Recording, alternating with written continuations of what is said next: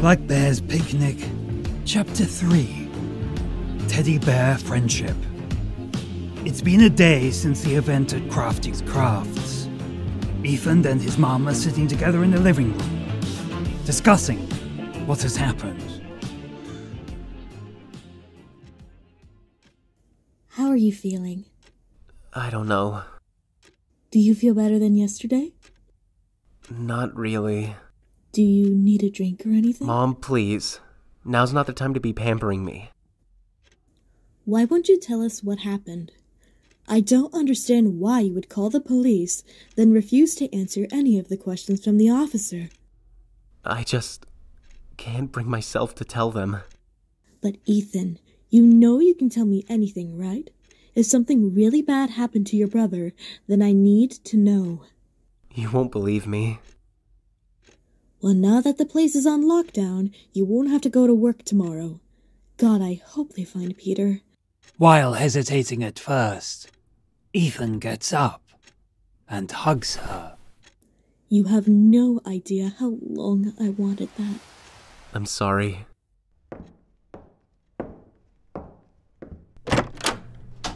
Ethan glances up at his Crafty's Crafts uniform.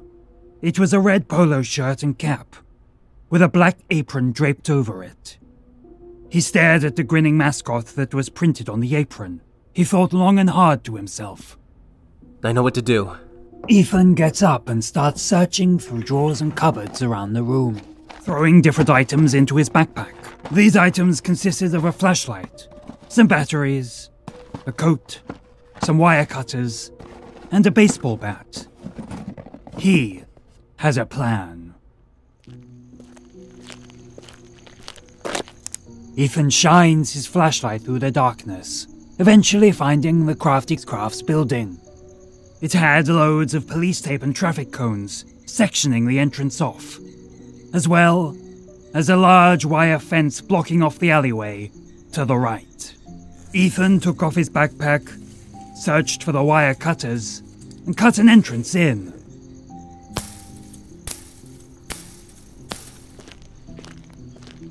He eventually reached the back door to the building.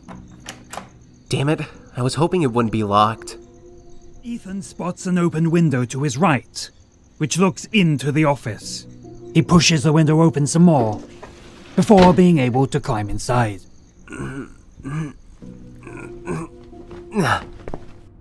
The place was pitch black, with no lights left on at all. Ethan wandered through the office, shining his light onto the wall covered with posters. How old are these? There were loads of black and white posters advertising some sort of Crafty the Bear show, which dated back to the 1930s. To the right hung a framed certificate for the establishment. The sign name read Sam McCoy, while the other name appeared to be scribbled out in black marker. While intrigued at first, Ethan eventually shrugs it off and continues to the door that led into the backstage. And there lay the crafty suit, slumped on the table. Thank God, it's still here. Ethan placed down his backpack and removed the baseball bat. I'm done with this sick suit. With his bat in hand, he started bashing the suit as hard as he could. Sparks flew everywhere.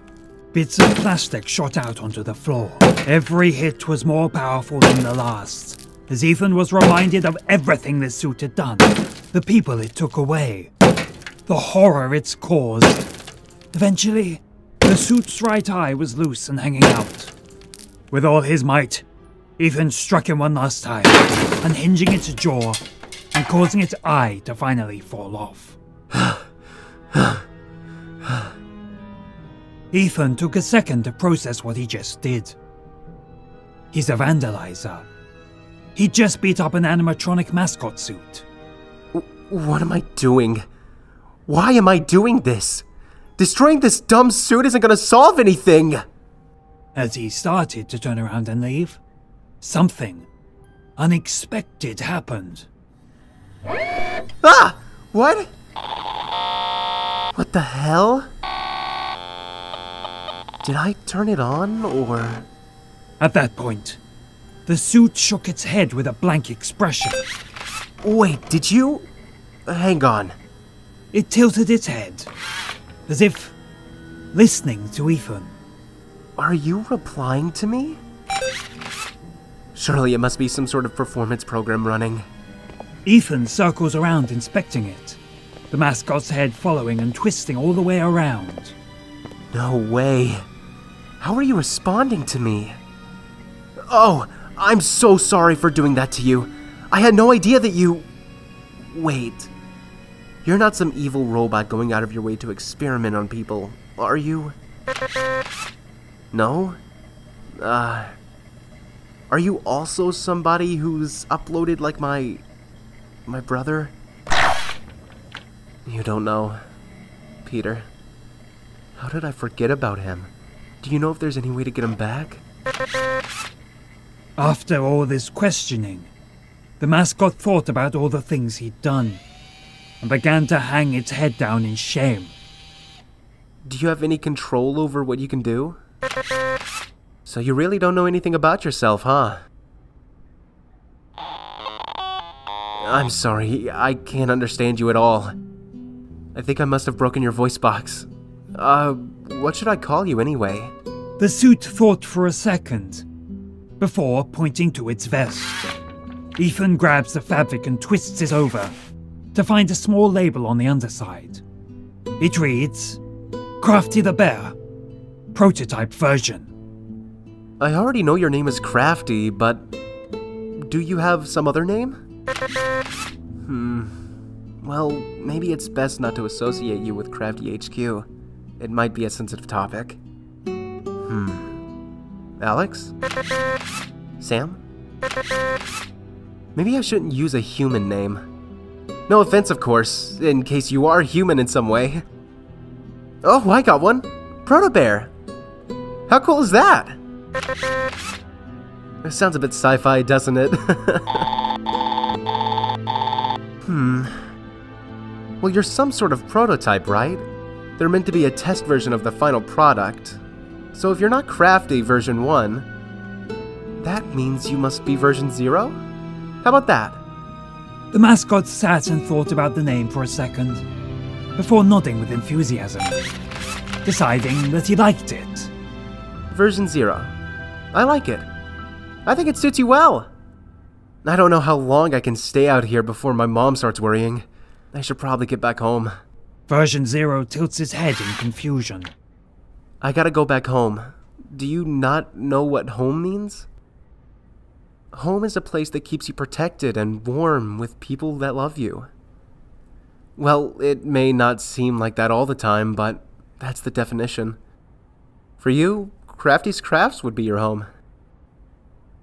Oh, I suppose it's not, is it? Ethan quickly creeps towards the stage door and peeks his head out, listening. Damn it! Look, if we hurry, then I might be able to get you out in time. Then you can hide at my house until things die down. Are you able to stand up and walk? Well, I guess we'll both find out. Ethan grabs hold of Version Zero's hand and yanks him up off the table. He stumbles for a second, but eventually finds his footing. Good job. I know it's not the best time to learn how to walk, but can you move forward? Version Zero begins to slowly and steadily stomp forwards. Could you try and be a tiny bit quieter? Shh! This way. Ethan holds him firmly by the hand and leads him through the doorway and into the office. There's no way you'll get through that window. Luckily, there's a key to the back door here. Oh, Stay still. This is the police, and this place is on lockdown. Come on. Come forward now! I think we have an intruder in the establishment. Oh, damn it, the fence! How are we gonna get you through? No, don't try and get through there. Your suit's gonna rip. With enough force, Version Zero eventually squeezes through the hole. Ethan follows through afterwards. This way.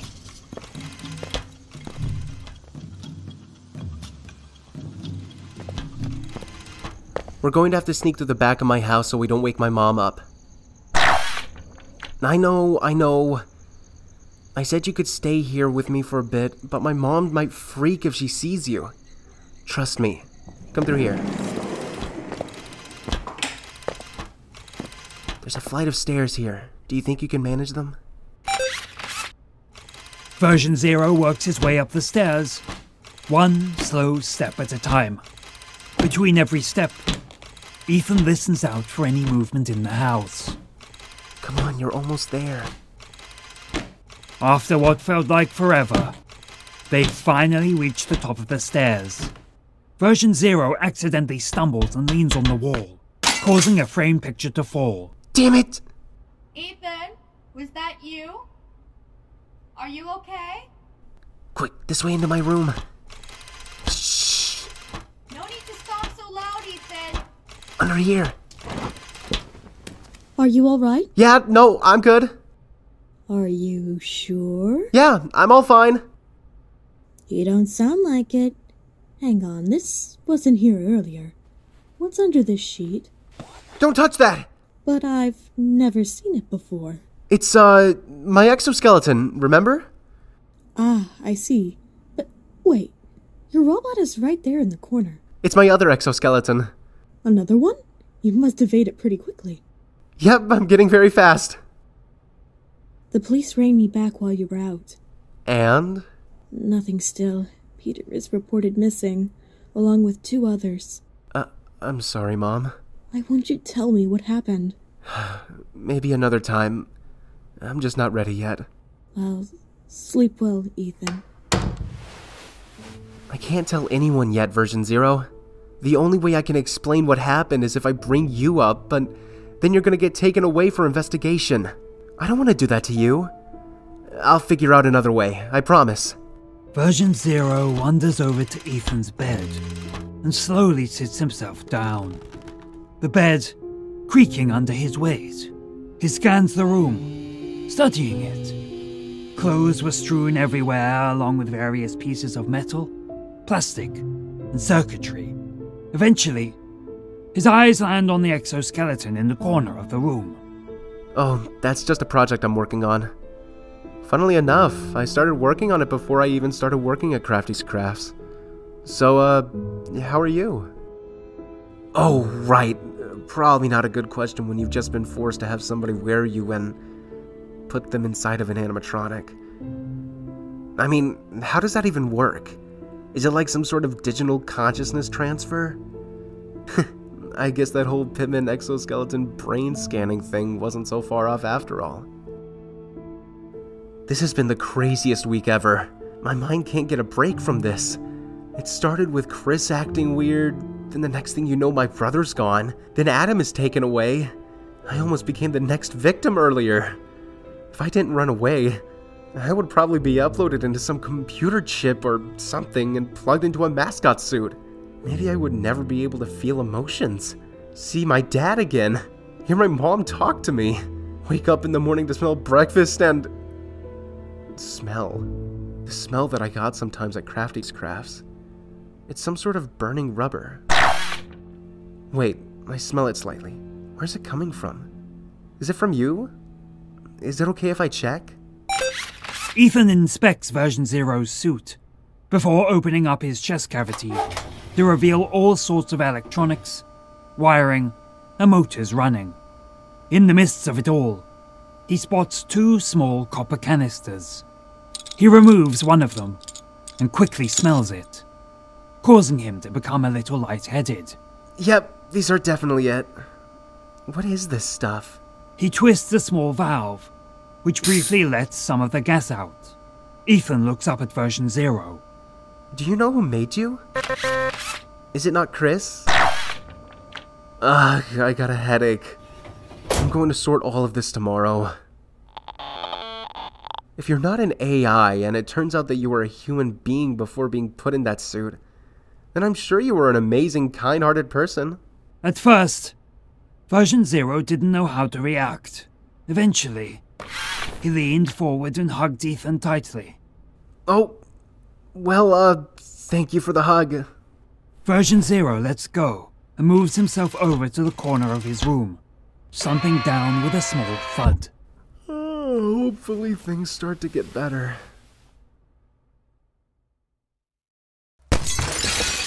What the what the hell was that? Ethan leaps out of bed to see what had happened. His window had smashed with all of the glass shards spread across his floor.